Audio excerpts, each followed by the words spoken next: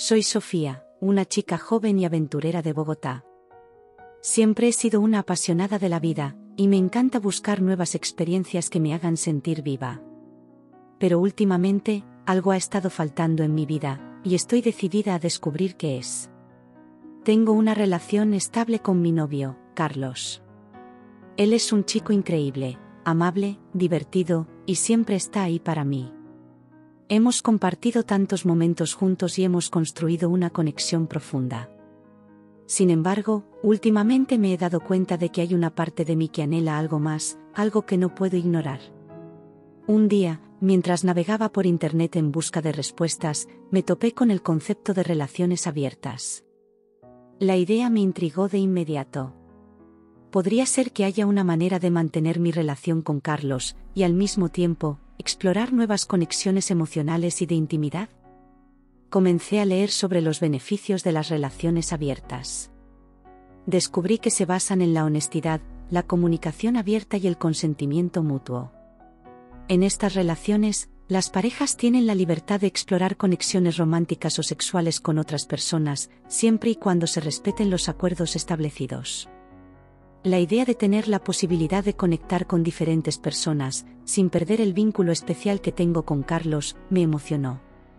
¿Podría ser esto lo que necesito para satisfacer mi deseo de emociones nuevas? Decidí abrirme con Carlos sobre mis pensamientos y emociones. Afortunadamente, tenemos una relación sólida basada en la confianza y la comunicación, así que sabía que podía ser honesta con él sin temor a ser juzgada. Una tarde, después de una cena romántica, le planteé el tema de las relaciones abiertas. Le expliqué que me sentía atraída por la idea de explorar encuentros emocionales y sexuales con otras personas, pero que mi amor por él seguía siendo muy fuerte. Carlos escuchó atentamente mis palabras, y para mi sorpresa, no reaccionó con enojo o rechazo. En cambio, me agradeció por compartir mis sentimientos con él y expresó su disposición a considerar la idea. Juntos, comenzamos a investigar más sobre las relaciones abiertas. Leímos libros, exploramos foros en línea, y hablamos con personas que habían experimentado este tipo de dinámica. Nos dimos cuenta de que no existe una única forma correcta de tener una relación abierta, sino que cada pareja puede establecer sus propias reglas y límites. Poco a poco, comencé a abrir mi mente y corazón a esta nueva posibilidad.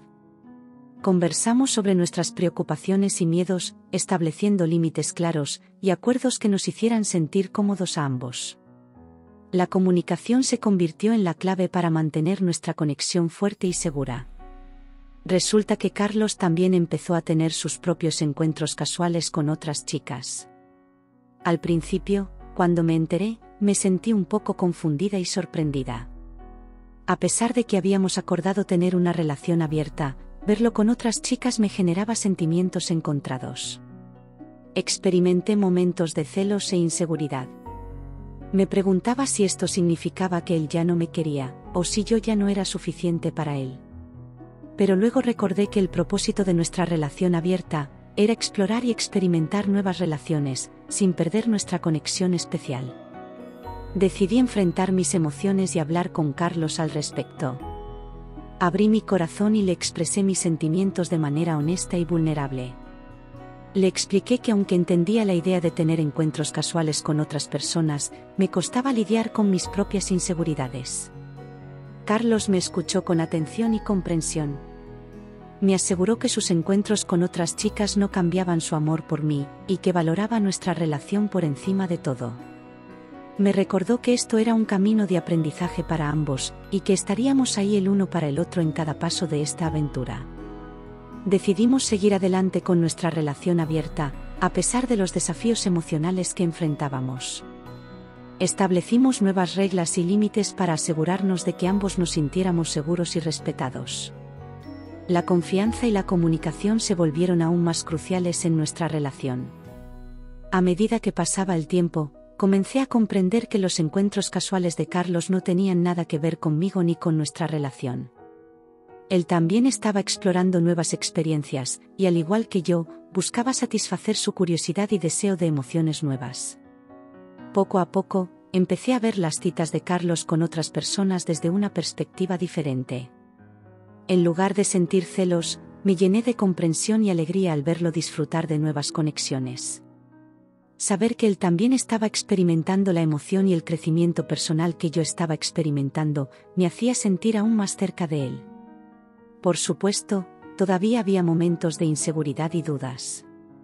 A veces, me preguntaba si podía seguir compartiendo a Carlos con otras chicas sin perderme a mí misma en el proceso. Pero cada vez que esas inseguridades surgían, recordaba nuestra base de confianza y el amor que nos teníamos. Nuestra relación abierta nos desafió a ambos de formas que nunca antes habíamos experimentado. Aprendimos a enfrentar nuestros miedos y a comunicarnos de manera abierta y honesta. Aprendimos a valorar la libertad individual y a equilibrarla con la conexión que teníamos. Aunque nuestra relación abierta no es para todos, para nosotros ha sido una oportunidad de crecimiento y descubrimiento. Nos ha permitido explorar nuevas facetas de nosotros mismos y ha fortalecido nuestra conexión en formas que nunca imaginamos. Entonces, aquí estamos, Carlos y yo, navegando por el territorio desconocido de las relaciones abiertas juntos. Sabemos que no siempre será fácil, pero estamos comprometidos el uno con el otro, y con esta aventura que hemos elegido. Estamos listos para abrazar los altibajos, y descubrir qué más nos depara el futuro. Después de establecer nuestras reglas y límites, Carlos y yo nos lanzamos al mundo de las citas y los encuentros casuales. Cada encuentro era una mezcla de emoción, nerviosismo y, por supuesto, una buena dosis de adrenalina. Era como subir a una montaña rusa llena de emociones y no saber qué esperar en la siguiente curva. Recuerdo claramente una de mis primeras citas fuera de nuestra relación. Quedé con un chico llamado Alejandro. Desde el momento en que nos conocimos, hubo una atracción instantánea. La noche fue llena de risas, conversaciones profundas, y sí, también de intimidad. La experiencia me llenó de una sensación de libertad y exploración que nunca antes había experimentado. Me di cuenta de que podía conectar con alguien más sin perder mi conexión con Carlos. Sentí que estaba descubriendo una nueva dimensión de mi sexualidad, y de lo que significaba estar en una relación abierta. Pero a medida que más encuentros y conexiones surgían, comencé a experimentar un nuevo tipo de emoción, los celos. Ver a Carlos disfrutar de sus propios encuentros me hacía sentir insegura y temerosa de perderlo. ¿Y si él encontraba a alguien mejor que yo? ¿Y si sus conexiones con otras chicas se volvían más significativas que nuestra relación? Los celos se convirtieron en una sombra, que acechaba mi mente y corazón. A veces me sentía atrapada entre la emoción de mis propias experiencias y el miedo de perder lo que tenía con Carlos. Me preocupaba que nuestros encuentros con otras personas pudieran amenazar nuestra conexión única y especial. Hablé con Carlos sobre mis sentimientos de celos y él hizo todo lo posible para tranquilizarme. Me recordó una y otra vez que nuestras experiencias con otras personas no cambiaban su amor por mí. Pero a pesar de sus palabras reconfortantes, los celos seguían presentes, acechando en las esquinas de mi mente aprendí que los celos eran una parte normal y natural de las relaciones abiertas. Reconocerlos y enfrentarlos era fundamental para mantener una comunicación abierta y sincera con Carlos. Juntos, exploramos estrategias para lidiar con los celos y fortalecer nuestra conexión. A medida que pasaba el tiempo, comencé a comprender que los celos eran un reflejo de mis propias inseguridades y miedos, más que una amenaza real a nuestra relación. Trabajé en mí, cultivando la confianza en mí misma, y recordando el amor y la conexión que compartíamos con Carlos. Las siguientes experiencias que tuve fueron un viaje de altibajos emocionales. A veces me sentía completamente en sintonía con el espíritu aventurero de las relaciones abiertas, disfrutando de nuevos encuentros, sin preocuparme por los celos. Pero en otras ocasiones, los celos volvían a golpearme, haciéndome cuestionar todo. A pesar de los desafíos, continuamos con nuestra relación abierta. Aprendimos a apoyarnos mutuamente en nuestros altibajos emocionales y a enfrentar los desafíos juntos. Las experiencias que compartimos nos recordaban constantemente por qué habíamos elegido este camino y cómo nos estábamos enriqueciendo mutuamente. Con cada encuentro, cada experiencia, me daba cuenta de que este viaje de relaciones abiertas era más que solo emociones nuevas y excitantes Era un viaje de autodescubrimiento, de crecimiento personal y de aprendizaje sobre el amor en todas sus formas. Así que aquí estoy, navegando por las aguas inciertas de las relaciones abiertas, enfrentando mis propios miedos y celos. Pero también estoy abrazando la emoción y la alegría que viene con la exploración de nuevas experiencias. Últimamente, he notado que Carlos se muestra distante, como si estuviera alejándose emocionalmente. Ya no tenemos esas conversaciones profundas y llenas de risas como solíamos tener. Algo ha cambiado en nuestra dinámica, y no puedo evitar sospechar que hay alguien más en su vida. Los indicios sutiles comenzaron a acumularse. Mensajes de texto que ocultaba, llamadas telefónicas que terminaba apresuradamente cuando yo me acercaba, incluso cambios en su comportamiento cuando estábamos juntos. Mis sospechas crecían, y no podía ignorar la sensación de que algo estaba mal. Un día, decidí hablar con Carlos. Le pregunté directamente si había alguien más en su vida, si se estaba involucrando emocionalmente con otra chica. Mi corazón latía con fuerza, esperando ansiosamente su respuesta. Carlos parecía sorprendido por mi pregunta, y negó rotundamente cualquier involucramiento emocional con otra persona. Me aseguró que su distancia emocional se debía a su trabajo, y no a una tercera persona en la ecuación. Quería creerle, pero mis sospechas seguían atormentándome. A partir de ese momento, los reproches comenzaron a inundar nuestra relación. Cada pequeña acción o palabra de Carlos se convertía en combustible para mis dudas y temores. Me volví más insegura y desconfiada, buscando señales de infidelidad en cada esquina. Nuestras conversaciones se llenaron de acusaciones y defensas. Yo le reprochaba su falta de compromiso emocional y él se defendía, asegurándome que me amaba, y que solo había cosas externas afectando su estado de ánimo.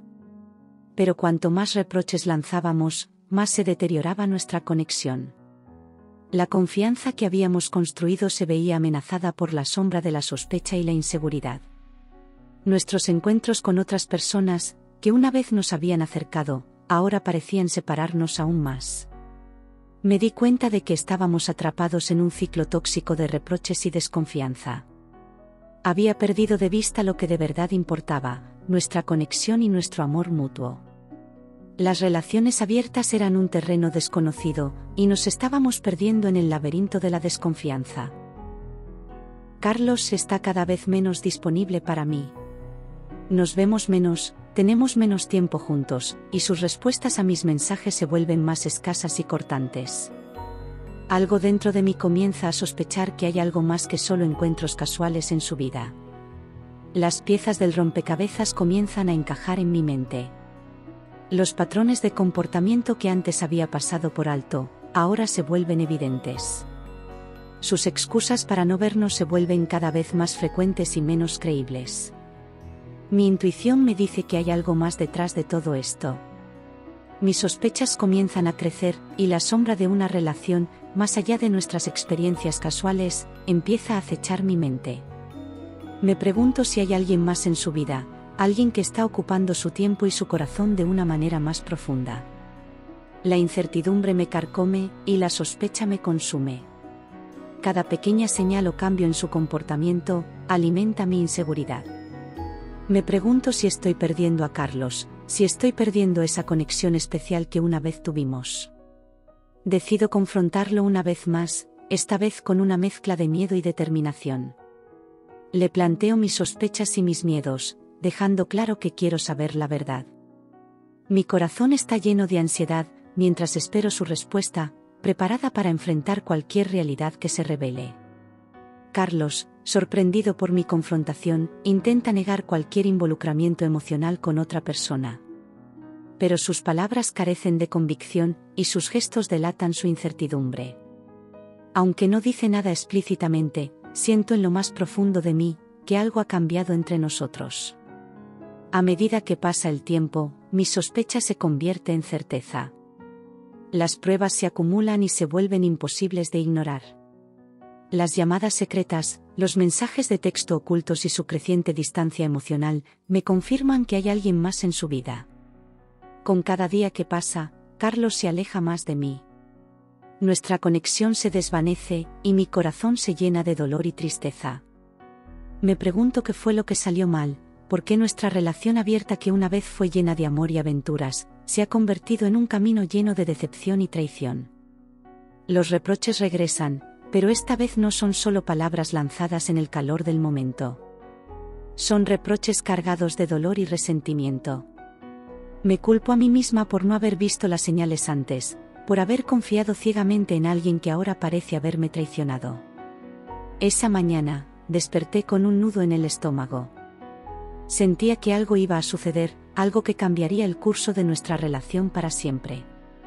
Mi corazón se aceleraba, mientras esperaba a que Carlos llegara a nuestro lugar de encuentro habitual.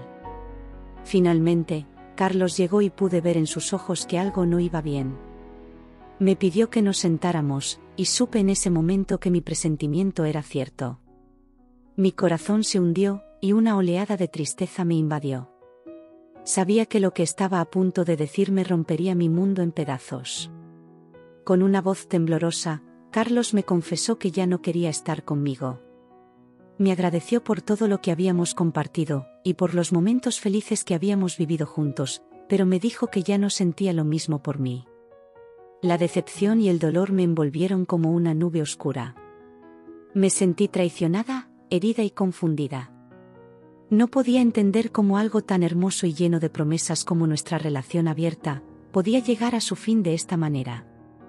Mis emociones oscilaban entre la tristeza y el resentimiento. Me sentía dolida por la forma en que Carlos había decidido terminar nuestra relación, y por el tiempo que había invertido en algo que ahora parecía haber sido en vano. Me preguntaba si todo había sido solo una ilusión. Durante días, estuve sumida en la tristeza y el duelo por la pérdida de lo que una vez fue. Me permití llorar y expresar mi dolor de la forma que necesitaba. Me di cuenta de que estaba bien sentirme enojada y dolida, pero también sabía que tenía que encontrar la manera de seguir adelante.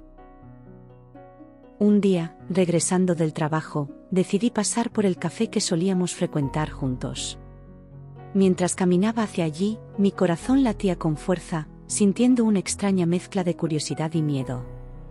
¿Qué pasaría si me encontrara con Carlos? ¿Y si mi intuición resultaba ser cierta? Al acercarme al café, vi una escena que hizo que mi mundo se desmoronara. Allí, justo en la entrada, estaba Carlos abrazando y besando a otra chica. Sentí como si me hubieran golpeado en el pecho. El dolor se apoderó de mí y me quedé paralizada, incapaz de moverme o apartar la mirada. Mis ojos se llenaron de lágrimas, mientras observaba la escena.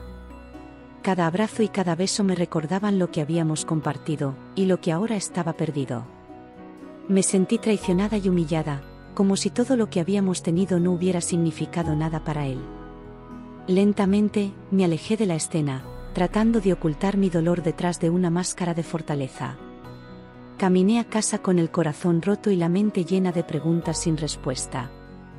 ¿Cómo pudo hacerme esto? ¿Cómo pudo reemplazarme tan fácilmente? Al llegar a casa, me dejé caer en el sofá, sintiendo una profunda tristeza invadir cada parte de mi ser. Las lágrimas comenzaron a salir sin control. Me sentía perdida, como si hubiera perdido una parte de mí misma en el proceso. El dolor era abrumador y me costaba respirar. Cada pensamiento y recuerdo de lo que solíamos ser juntos, me causaba un dolor agudo en el pecho. Me preguntaba qué había hecho mal, por qué no fui suficiente para él. En esos momentos oscuros, me recordé a mí misma que no era culpa mía. No tenía que llevar la carga de la traición y el engaño de Carlos. Me permití sentir mi dolor, pero también me di cuenta de que merecía algo mejor. Me siento muy arrepentida, atrapada en las profundidades del dolor que me ha causado proponer una relación abierta. Lo que comenzó como un emocionante juego en busca de nuevas emociones se ha transformado en mi propia condena. Ahora comprendo que cada una de mis acciones tiene consecuencias, y que esta decisión ha alterado por completo el curso de mi vida. Observo a Carlos lleno de felicidad por estar en una relación con otra chica, y eso me enfrenta a una realidad desgarradora, estoy sola. Me duele en lo más profundo, ver cómo él ha encontrado el amor en otra persona, mientras yo me encuentro sin un compañero, sin alguien que me ame de la misma manera. La soledad se ha convertido en mi compañera, un fantasma que me atormenta día y noche. En ocasiones, me cuestiono si todo esto ha valido la pena. Me pregunto si hubiera sido más sabio seguir el camino tradicional de las relaciones monógamas. De cualquier manera, comprendo que vivir en un constante estado de arrepentimiento no me llevará a ningún lado, y que debo aceptar mi situación y encontrar la forma de seguir adelante. En mi afán de buscar emociones nuevas y experiencias excitantes, me he perdido a mí misma en el proceso. He aprendido que las decisiones impulsivas pueden tener un costo emocional extremadamente elevado. Me pregunto si en verdad comprendía las implicaciones y las posibles consecuencias de una relación abierta antes de aventurarme en ella. Esta experiencia ha sido una dolorosa llamada de atención. Me ha enseñado a ser más reflexiva y consciente de mis acciones y decisiones. Me ha recordado la importancia de considerar todas las perspectivas y consecuencias posibles, antes de tomar una decisión que afectará tanto mi vida como la de los demás. A pesar del inmenso dolor y el abrumador arrepentimiento que me embargan, he llegado a un punto de cierre en mi vida. He aceptado que la relación con Carlos ha llegado a su fin, y que es hora de avanzar. Me he dado cuenta de que merezco encontrar un amor auténtico y recíproco, alguien que me valore y me respete. Sin embargo, no puedo negar que el camino hacia este cierre ha sido tortuoso y lleno de obstáculos. Cada día es una lucha constante contra la tristeza y la nostalgia. A veces, me encuentro sumergida en recuerdos que se entrelazan con el tormento de lo que pudo haber sido. Me pregunto si podré superar esta carga emocional, que ahora parece pesar sobre mis hombros.